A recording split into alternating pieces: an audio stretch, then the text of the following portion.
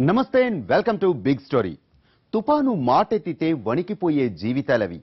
సముద్రమే వారి జీవితాలకు ఆధారం. సముద్రంతోనే బతుకు పోరాటం కూడా. తిత్లీ పెథాయ్ పేరేదైనా కరుణించి కడుపు నింపే సముద్రం కన్నెర చేస్తే వెలవెల్లాడే బతుకులవి. తుఫాను రోజుల్లో చివురుటాకుల్లా వణికిపోతూ తుఫాన్ వెళ్ళాక తీరం దాటని దుఃఖంలో మునిగిపోతున్నారు. అందుకనే ఆదుకునే వ్యవస్థలు సక్రమంగా లేక లక్షలు నష్టపోతున్నారు ఈ గంగపుత్రులు. ఉప్పాడ తీరంలో ఏ మత్స్యకారుణ్ణి పలకరించినా అంతులేని దుఃఖంలో కనిపిస్తున్నారు. ఉప్పాడ తీరంలో గంగపుత్రుల కష్టాలపై మా ప్రతినిధి దినకర్ అందిస్తున్న స్పెషల్ రిపోర్ట్.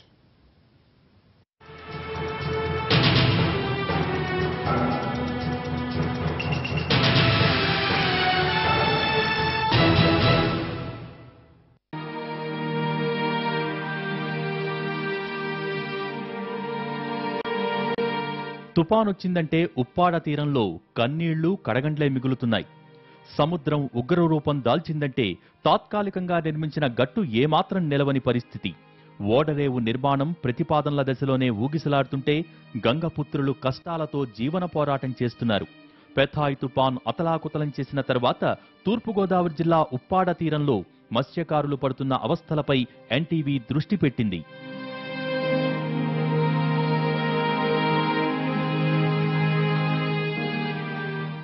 పెతాయ్ తుఫాన్ సృష్టించిన బీభత్సం ఎలా ఉందన్న దానికి సంబంధించి ఎన్టీవీ గ్రౌండ్ రిపోర్ట్ చేస్తుంది. భైరవపాలెంలో గంగపుత్రుల జీవితాలు అలా ఉంటే ప్రస్తుతం నేనున్నాను ఉప్పాడ ప్రాంతంలో. ఉప్పాడ బీచ్ అంటే చాలా ఫేమస్ అలాగే ఉప్పాడ చేప కూడా అంతే ఫేమస్.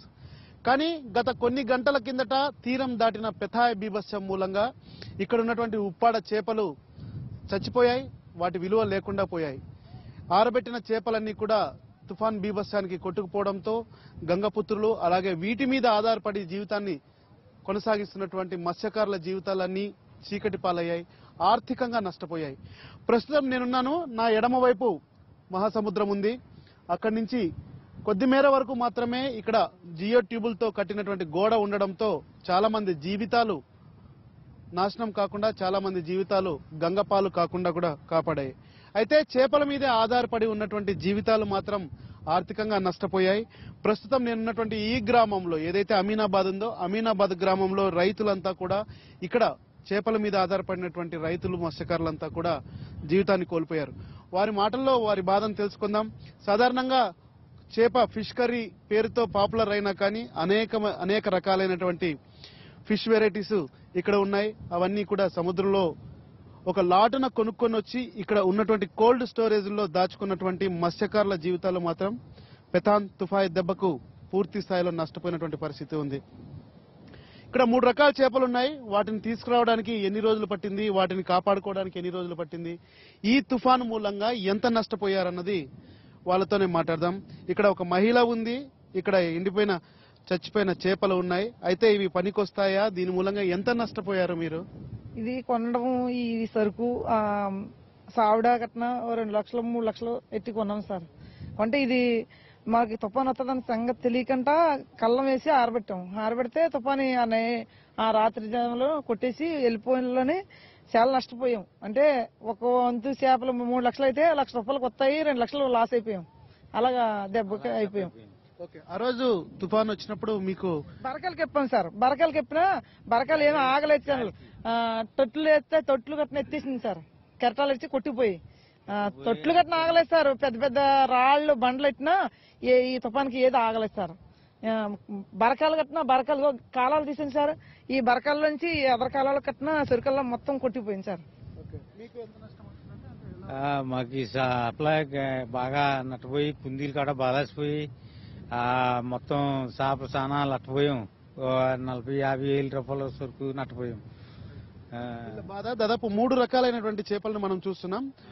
వాటిని వచ్చి చావులు అంటారు చావడాలు అంటారు ఆ తర్వాత ఇక్కడ ఉన్నటువంటి ఒడుగులు ఒడుగులు ఉన్నాయి. ఆ తర్వాత అటువైపు ఉన్నటువంటి పారలు అంటే ఈ రకమైనటువంటి మనం చూస్తున్నాం. ఈ ఈ చేపలను తీసుకురావడానికి దాదాపు రేట్ ఎక్కువగా ఉన్నటువంటి చేపలు. ఎంత ఉంటుందమ్మా కిలో? కిలో నూట యాభై రూపాయలు ఉంటుంది సార్ ఇది.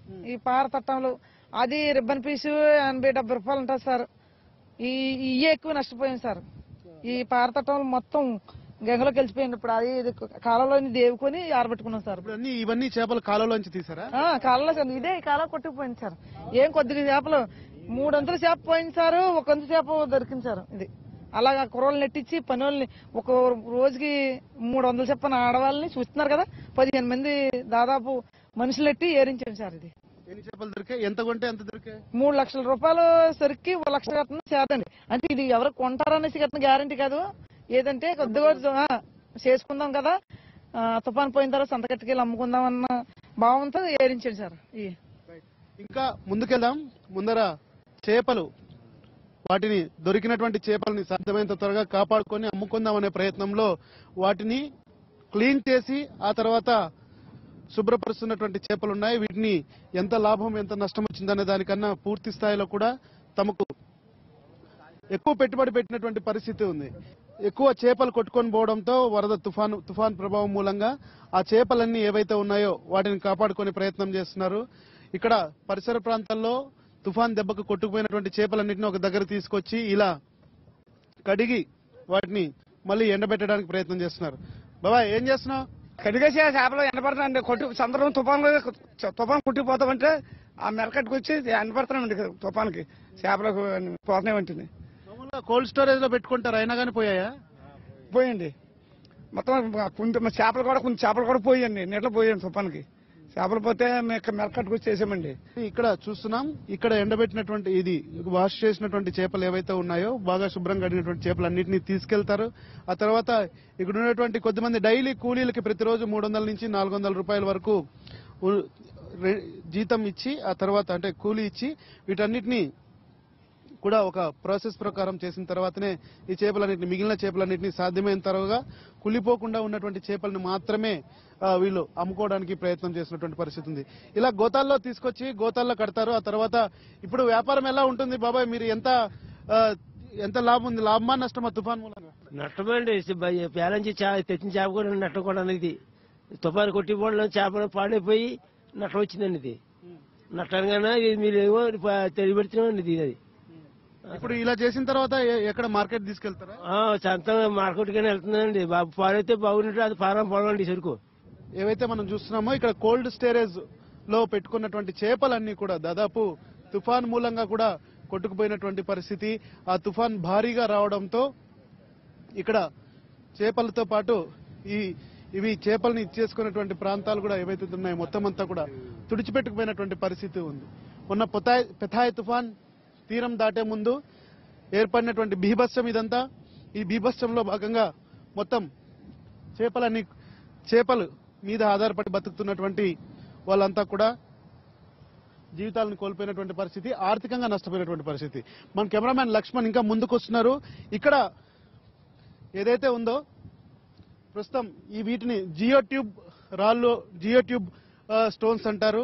ఇక్కడ వరదలు రావడానికి తుఫాన్ వచ్చే టైంలో ఇక్కడ ఉన్నటువంటి సముద్ర తీరం ప్రాంతంలో అల్లకల్లోలం జరగకుండా ఏర్పాటు చేసినటువంటి గోడలు ఏవైతే ఉన్నాయో ఈ గోడలు మూలంగా అది ఆ వాటర్ సముద్ర తీర ప్రాంతం నుంచి వచ్చే వాటర్ గ్రామాల్లో పోకుండా ఉండడానికి కట్టినటువంటి ఈ గోడల మూలంగా ఏవి సమస్యలు రాకుండా ఉండాలని చెప్పి కట్టారు. కానీ చాలా చోట్ల అవి తెగబడిపోవడంతో పూర్తిగా నాశనం కావడంతో చాలా గ్రామాలన్నీ కూడా సముద్రం పాలు కావాల్సి వస్తుంది. అలాగే మత్స్యకారులు తెచ్చుకున్నటువంటి చేపలు కానీ ఆ తర్వాత కొని ఇక్కడ కోల్డ్ స్టోరేజ్లో పెట్టుకున్నటువంటి చేపలన్నీ కూడా సముద్రం పాలవు సముద్రం పాలయ్యాయి. అలాగే ఇక్కడ తుఫాను ప్రభావం మూలంగా కూడా అనేకమైనటువంటి ఆర్థిక నష్టం జరిగినటువంటి పరిస్థితి ఉంది. సో ఓవరాల్గా చూస్తున్నాం తాము తెచ్చుకున్నటువంటి చేపలన్నింటినీ కూడా ఏవైతే ఉన్నాయో వాటన్నిటిని ఇక్కడ ఆరబెట్టుకోవడానికి ఆ తర్వాత కోల్డ్ స్టోరేజ్ రూముల్లాగా పెట్టుకోవడానికి ఇలాంటి చిన్న చిన్న టబ్బుల్లాగా తయారు చేసి పెట్టుకున్నటువంటి కూడా ఆల్మోస్ట్ ఆల్ నష్టపోయినటువంటి పరిస్థితి ఉంది. పెతాయి బీభత్సం మూలంగా కూడా ఆర్థికంగా నష్టపోయాం. ఒక్కొక్క మత్స్యకారుడు ఐదు నుంచి ఆరు లక్షల వరకు నష్టపోయారని చెప్పి వాళ్ళ మాటల్లో ఆవేదన వ్యక్తమవుతుంది. మరి ప్రభుత్వం వీరికి ఎలాంటి దారి చూపిస్తుంది? అలాగే ఇక్కడ ఉన్నటువంటి పరిష్కారం కాని సమస్యలకు ఏదైతే ప్రస్తుతం ఈ జియో ట్యూబ్ గోడలు ఉన్నాయో అవన్నీ కూడా తెగిపోవడంతో అలాగే వాటిని రీకన్స్ట్రక్షన్ చేయకపోవడం మూలంగా కూడా ఆర్థికపరమైనటువంటి నష్టంతో పాటు ప్రాణ నష్టం కూడా ఇలాంటి తుఫాన్లు ఏర్పడిన సమయంలో ఉప్పాడ రేవులో వందల కొద్ది మత్స్యకారుల కుటుంబాలు బతుకుతున్నాయి. సముద్రం లోపలికి వెళ్ళి రోజుల తరబడి ఉండి చేపలను తెచ్చి తీరంలో ఎండబెట్టి దూర ప్రాంతాలకు ఎగుమతి చేస్తూ ఉంటారు. ఇక్కడ నిత్యం లక్షల్లో వ్యాపారం నడుస్తుంది. కానీ సముద్రం ఉగ్రరూపం చూపిస్తే ఆదుకునే యంత్రాంగం మాత్రం లేదు. నిలువ నీడలేక మత్స్యకారులు పడుతున్న కష్టాలు అన్నీ ఇన్ని కావు.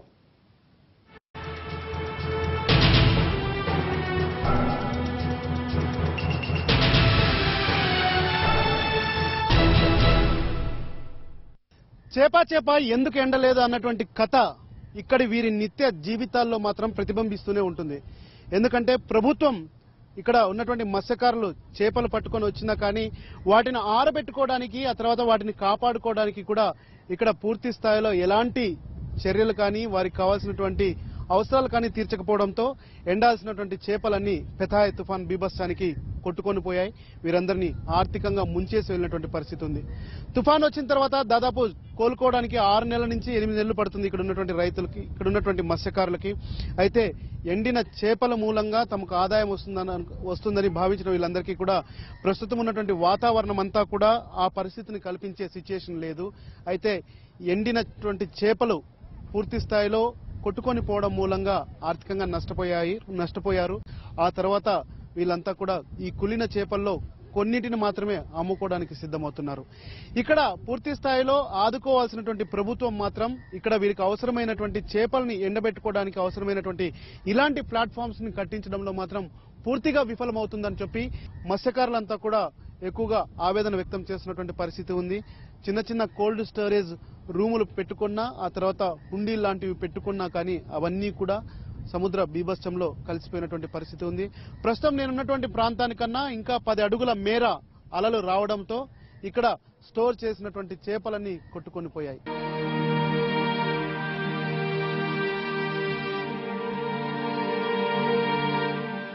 ఏపీలోని అత్యధిక విస్తీర్ణం కలిగిన రేవుగా పేరొందింది తూర్పుగోదావరి జిల్లా ఉప్పాడ తీరం. ఇక్కడ రెండు వందల యాభై కోట్లతో నలభై ఎకరాల విస్తీర్ణంలో షిప్పింగ్ హార్బర్ నిర్మించాలని ప్రభుత్వం ఎప్పుడూ నిర్ణయించింది. అయినా పనులు మాత్రం ముందుకు సాగడం లేదు. నిర్మాణ బాధ్యతను ఓ కన్సల్టెన్సీకి అప్పగించినా అది పేపర్లకే పరిమితమైంది కానీ ఇంకా పట్టాలెక్కలేదు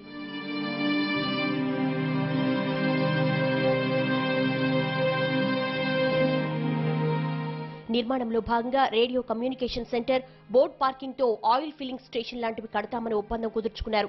కానీ పనులు ఒక్కాడు కూడా ముందుకు పడలేదు. దీంతో మత్స్యకారుల కష్టాలు యథావిధిగా కొనసాగుతున్నాయి. యాభై వేల రూపాయలు పోయేశారు. సొరికి అంతాన? ఈ కుందీలు కూడా పోయేశారు. ఇరవై ఏళ్ళ రూపాయలు కుందీలు పోయేశారు. మరి వ్యాపారం ఇక్కడే సార్ మాది ఊరికి వచ్చారు. చాలా దూరమే తొండింగ్ మండలం.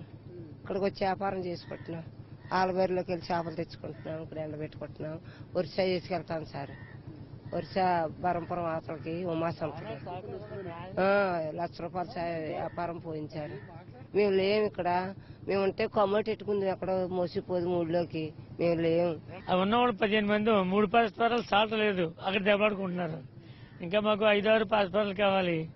స్థలం కూడా పెట్టుకోడానికి సముద్రం మేత విబ్బెత్తుకొచ్చి పడిపోయింది. పడిపోవడం ఎక్కడిగా సముద్రం కుట్టుకుని పోయింది. అయితే ఇంక అవకాశాలు రావడానికి లేదు. అయ్యా కొన్ని కొన్ని కొన్ని దక్కించుకున్నాం కొన్ని కొన్ని పోయి సిరిగిపోయి సిమెంట్ కదండి పోయి ప్లాస్టిక్ ఉన్నాయి. సిమెంట్ ఎలా బొత్తలు పోయి సరుకు కూడా సూపర్ పడైపోయింది. లక్ష యాభై లోపల నష్టం ఉంటుంది బాబు. ఐదు నుండి మూడు రోజులు పెడతాం. ఈ రెండు రోజుల లోపల చోప నుంచి పెట్టడానికి దారి లేదు. ఇవాళ తీస్తాము మాది యాభై వేల రూపాయలు పోయిందండి. మాకు చాలా బాధ వచ్చేసి ఏమన్నా నెట్టవారాలు ఏమన్నా మీ గవర్నమెంట్ ఏమైనా సాయం చేస్తామో అని మీతో చెప్తున్నామండి. చాలా నట్టపోయాము. తుఫాన్తో చాలా ఇబ్బంది ఇచ్చేసింది ఏదైనా మీ చిత్తం అయితే ఏదైనా చేస్తారని ఆశ అంతే. ఉప్పాడ సముద్ర తీరం వేల మంది మత్స్యకారులు జీవనాధారం. అరుదైన మత్స్య సంపదకు కేంద్రమైన ఉప్పాడలో కోట్ల రూపాయల వ్యాపారం జరుగుతుంది హైదరాబాద్ కేరళ ఒరిస్సా బెంగళూరు కోల్కతా చెన్నైలకు భారీ స్థాయిలో వివిధ రకాల చేపల ఎగుమతులు జరుగుతాయి. అయినా ఇక్కడ సమస్యలు అలాగే ఉన్నాయి. ముఖ్యంగా తుపాను వచ్చిన తర్వాత విధ్వంసం వీరి జీవితాలను చీకటిలో ముంచుతోంది. సముద్రం వచ్చేది వచ్చితే చేపలు కుందులు చేపలు కుట్టిపోయండి మేము అల్లిపోయి సొంతానికి ఊళ్ళో పారిపోయింది. సగం చేపలు పోయి సగం చేపలు ఉన్నాయండి. కొంటామండి. ఉదాహరణ కొంటాం. కొని ఉప్పు ఉప్పు ఉప్పు పెడతామండి. ఉప్పు పెట్టి రాత్రి ఇంటికి ఉంటాం రాత్రి ఇంటికి వెళ్ళిపోతాము మళ్ళీ పొద్దుట వస్తాం. మళ్ళీ సాయంత్రంలో ఉంటాం. అవి వేళ ఎక్కువ వచ్చింది చాలా ఎక్కువ. అల్లిపోయి ఇంటి పారిపోయింది.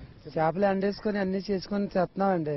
అభద్రంగా వచ్చేసింది వచ్చేస్తే పారిపోయాం ఏరిని సగమ్మ సముద్రానికి పోయి సముద్రానికి సగమ్మ ఉన్నాయి. కొను కాని ఉంటే అలాగా పోగు చేసుకుని అలా చేస్తున్నాం ఇప్పుడు. చాలా చేపలు పోయింది చాలా నట్టపోయామండి.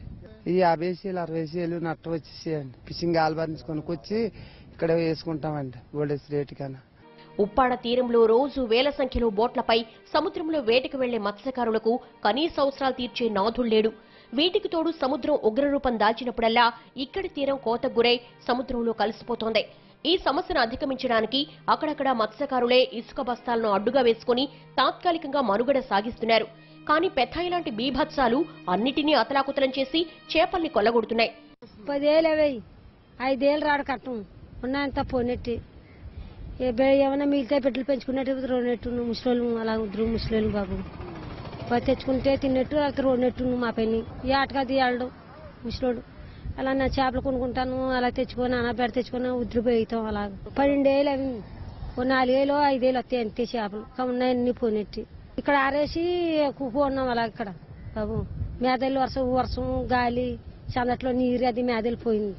గవర్నమెంట్ ఏవి ఇవ్వలేదు. ఏవి చే- సరఫరా చేయలేదు. ఉప్పాడలో మినీ హార్బర్ నిర్మాణానికి కేంద్రం నుండి నిధులు విడుదలైతేనే అభివృద్ధి పనులు సాధ్యమని రాష్ట్ర అధికారులు వాదిస్తున్నారు. రాష్ట్ర ప్రభుత్వం తమను తుపాను నష్టాల నుంచి ఎప్పుడు ఒడ్డున పడేస్తుంది అన్న గంగపుత్రుల ప్రశ్నలకు సమాధానం దొరకడం లేదు.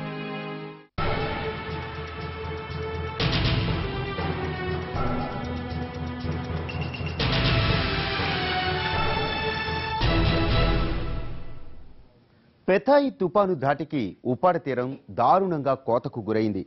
అలల దెబ్బకు రోడ్లు గలంతయ్యాయి. తీరం పక్కన ఉన్న స్టోర్ రూమ్లు పాకలు నాశనమయ్యాయి. ఇక పదేళ్ళ కిందట తీరం వెంబడి నిర్మించిన జియో ట్యూబ్ గోడలు తుపాన్ల ధాటికి తెగిపోయాయి. ట్యూబ్లను ఏర్పాటు చేసిన తర్వాత ప్రభుత్వాలు పట్టించుకోకపోవడంతో తీరం మరింత నాశనమవుతోంది.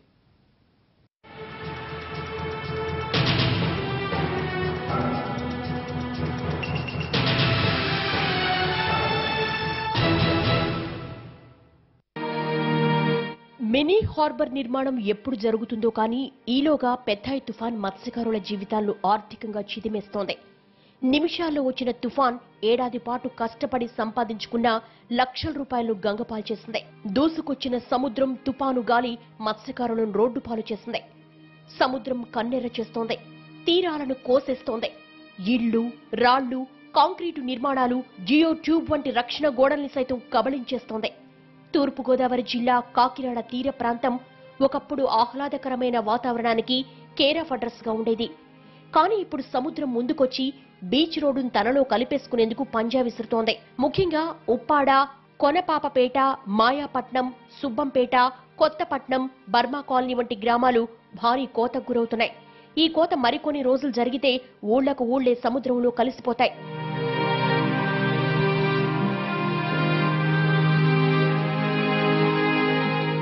తాత్కాలిక చర్యలుగా తీరం వెంబడి బండరాళ్ళను వేసినా అవి కొన్ని రోజులకే సంద్రంలో కలిసిపోతున్నాయి. అమావాస్య పౌర్ణమి రోజుల్లో ఆటుపోట్లకొచ్చే కెరటాలు రక్షణగా పేర్చిన రాళ్ళ గుట్టను చెదరగొట్టేస్తుంటే ఇక తుఫాను సమయంలో తీరాన్ని కకావికలం చేస్తున్నాయి. ఇండోనేషియాలో సముద్రపు కోత నివారణ కోసం ఉపయోగించిన టెక్నాలజీని అప్పటి కేంద్ర మంత్రి పల్లెంరాజు హయాంలో పైలట్ ప్రాజెక్టుగా ఉప్పాడ కొత్తపట్నం నుంచి మాయాపట్నం చివరి వరకు సుమారు ఒకటిన్నర కిలోమీటర్ల దూరం పాటు సుమారు పద్నాలుగు కోట్ల నిధులతో జియో ట్యూబ్ ఏర్పాటు చేశారు. ట్యూబ్ వంటి సంచుల్లో ఇసుక నింపి భూమిలో ఉంచి దాని మీద తాళ్ళతో అల్లిన వలలో రాళ్ళు పేర్చి ఉంచుతారు. రాక్షసాలలు సైతం ట్యూబ్లో ఉన్న ఇసుకను దానిపైన ఉన్న రాళ్ళను ఏమీ చేయలేకపోయాయి. దాంతో ఉప్పాడ పరిసర గ్రామాలు రెండు వేల ఆరు నుంచి కొంతకాలం వరకు సముద్రం పాలు కాలేదు. అటువంటి జియో ట్యూబ్లను ఆ తర్వాతి కాలంలో పట్టించుకోకపోవడంతో పాడైపోయి పరిస్థితి మళ్ళీ మొదటికొచ్చింది. సముద్ర తీరానికి గోడలు కట్టి మత్స్యకారులను అలాగే ఇక్కడ ఉన్నటువంటి గ్రామాలను ఆదుకోవాలన్నటువంటి ప్రభుత్వ లక్ష్యాలు మంచివే అయినా కానీ ఆచరణలో సగం మాత్రమే చేయడం మూలంగా ఇక్కడ జీవితాలు మాత్రం పూర్తి స్థాయిలో కోల్పోతున్నారు స్థానికంగా ఉన్నటువంటి గ్రామస్తులు. ప్రస్తుతం మనం ఉన్నాం ఉప్పాడ బీచ్ ఏదైతే ఉందో ఉప్పాడ సముద్ర తీర ప్రాంతం అంతా కూడా ఇక్కడ భారీ రాళ్ళతో ఒక గోడలాగా కట్టి తర్వాత జియో ట్యూబ్ల పేరుతో ప్రయోగాత్మకంగా ఒక దశాబ్దం కిందట చేసినటువంటి ఈ ప్రయోగం మాత్రం ఆచరణలో పూర్తి స్థాయిలో విఫలమైంది. కట్టిన కొత్తలో కొన్ని ఫలితాలు ఇచ్చినా కానీ ఆ తర్వాత ప్రభుత్వాలు ఆ తర్వాత అధికారులు ఇక్కడికి రావడం వీటిని అభివృద్ధి చేయకపోవడం మూలంగా ఇక్కడ ఉన్నటువంటి మత్స్యకారులంతా కూడా పూర్తి స్థాయిలో నష్టపోతున్నారు. మన కెమెరామ్యాన్ లక్ష్మణ్ చూపిస్తున్నాడు. అటు సముద్ర నుంచి వచ్చే అలల తాకిడిని తట్టుకోవడానికి ఏర్పాటు చేసినటువంటి ఈ జియో ట్యూబ్ గోడలు ఏవైతే ఉన్నాయో ఇవన్నీ ఇప్పుడు శిథిలావస్థకు చేరుకున్నటువంటి దృశ్యాలను మనం చూస్తున్నాం.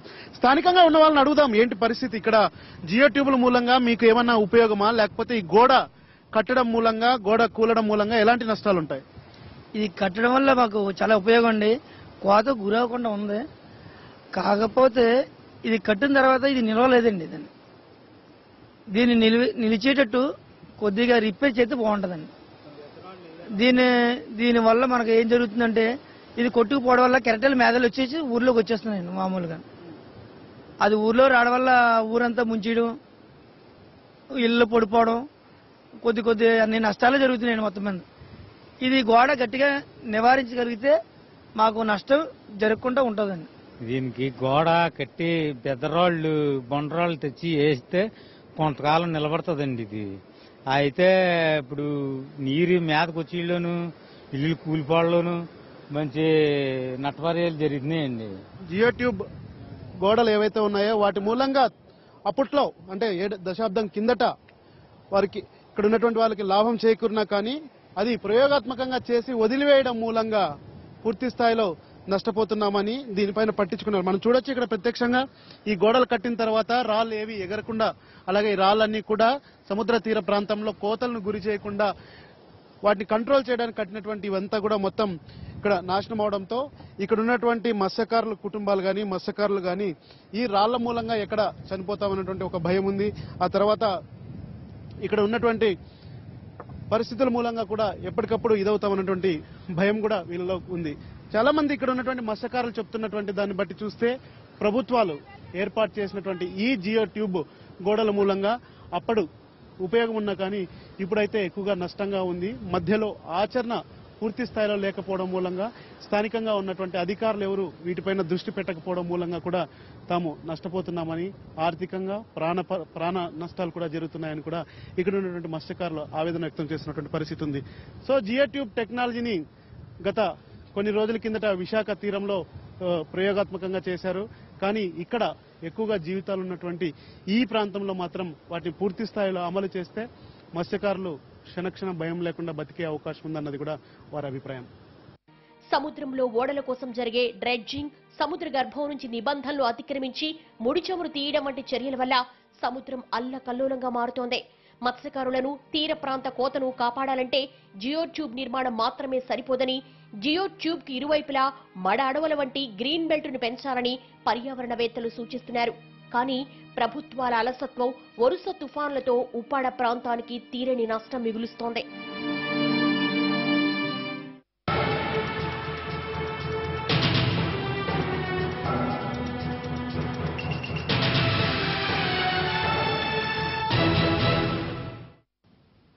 ఇది వాటి బిగ్ స్టోరీ.